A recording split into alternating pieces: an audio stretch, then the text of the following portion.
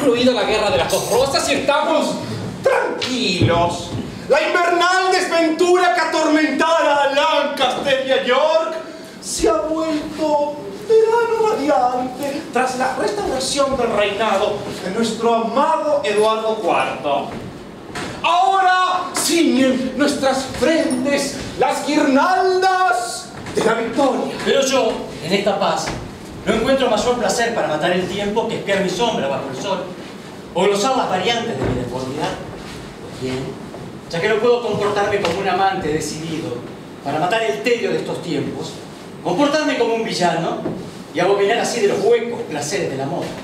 Valiéndome de absurdas profecías, de sueños y conspiraciones, enfrento a mi hermano Jorge Clarence y a mi otro hermano Eduardo, el monarca. Si el rey es tan noble y tan justo, como yo soy falso, astuto y traicionero, hoy mismo Clarence será encarcelado. ¿Por qué? Por Jorge.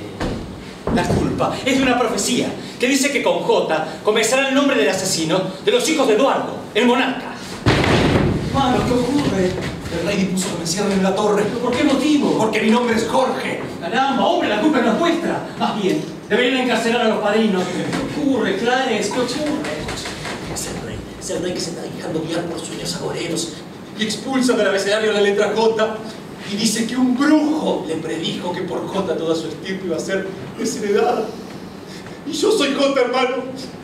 Yo soy Jorge. Entonces supone que soy aquel que lo amenaza. Eso ocurre cuando los hombres se dejan gobernar por las mujeres. Su esposa Isabel le llena la cabeza al rey. ¿Estamos seguros, Clarence? No lo estamos. Nadie está seguro. Sino los parientes de la reina.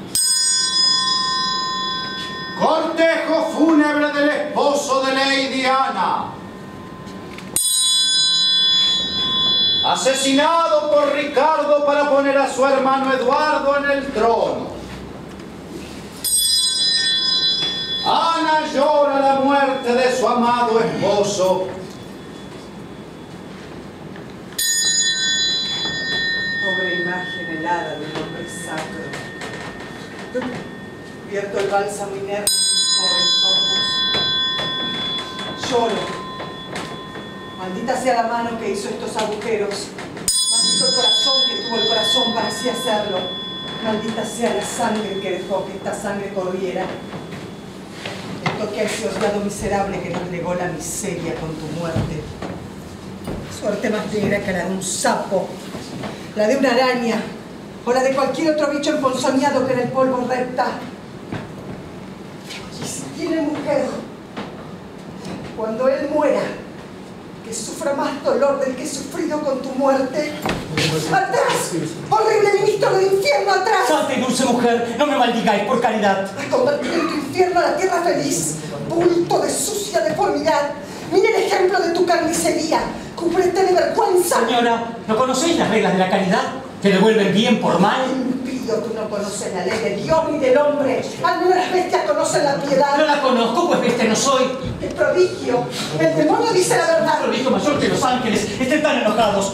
Permitid divina perfección en forma de mujer. Siniestra perfección en forma de hombre. Mujer más bella de lo que la lengua expresa. Hombre más vil de lo que el corazón concibe. ¿Y si no lo hubiera matado? Entonces no estaría muerto. No maté a tu marido. ¿Está vivo? No. Está muerto.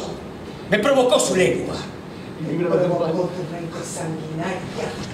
¿Acaso no lo mataste? No lo concedo. Sí. Me lo concedes.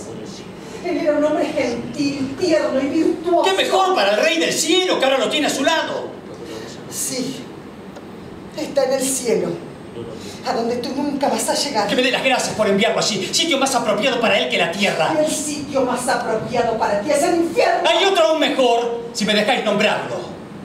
Algún calabozo. Vuestra alcoba y su lecho. Padre nuestro que estás en el cielo, santificado sea tu nombre. Venga a nosotros tu reino. Hágase tu voluntad así en la tierra como en el cielo. Danos sueños tu pan de cada día. Que cunda el mal sueño en la alcoba y donde duermas. Hermano, ya mismo iré a ver al rey e interceder por vuestra liberación. Profunda desgracia fraternal me toca más hondo de lo que suponéis. Tened paciencia, hermano. No tengo más remedio, hermano. Adiós.